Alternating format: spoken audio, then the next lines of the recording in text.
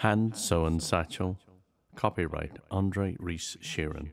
21st of March 2019. I go about my day carrying my hand sewn leather satchel, void, save my lunch and laptop. I return home. When I return, it is filled with cheap noise and turbulence of a long day. Hopes, desires, aspirations, and love become tourists in my mind, as if lost in a strange city and culture, and the ever creeping hands of the clock strike at my eyes. I am struggling to survive in the tsunami of dreams, my blood seemingly coagulating.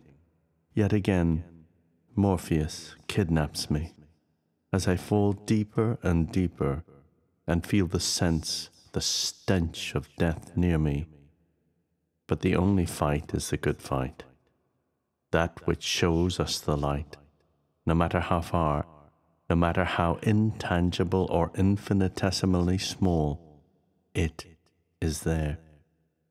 I may be reaching and I may still fall but the arms of love are not a double edged sword. They are often scarred and bloodied from battles of their own, and like love, I may be broken, but I am certainly not done.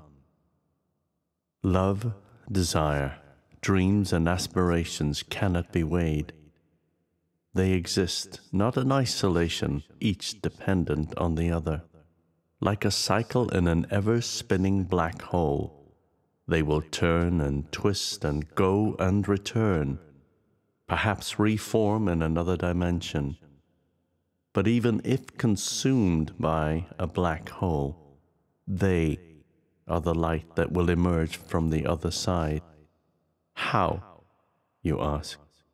Because even the black hole cannot exist without light. All rights reserved, Aindre Reece-Sheerin.